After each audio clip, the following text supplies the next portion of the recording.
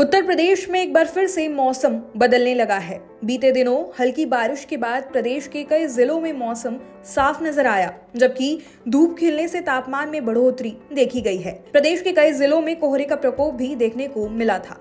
हालाँकि शुक्रवार को मौसम साफ़ रहा।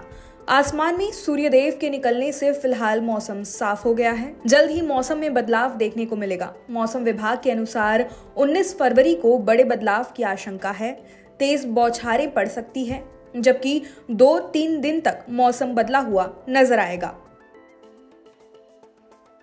आपको जानकारी दे दें कि 18 फरवरी से सक्रिय हो रहे पश्चिमी विक्षोभ के प्रभाव से पहाड़ों पर भारी बर्फबारी और बरसात होगी। सरदार वल्लभ भाई पटेल कृषि विश्वविद्यालय के मौसम केंद्र प्रभारी ने बताया कि घूमने जाने वालों को पर्वतीय इलाकों पर उस समय जाने से बचना चाहिए। पश्चिमी विक्षोभ का प्रभाव एनसीआर में भी देखने को मिलेगा। वहीं आपको जानकारी दे दें कि मौसम विभाग ने ठंड एक बार फिर बढ़ने की संभावना जताई है।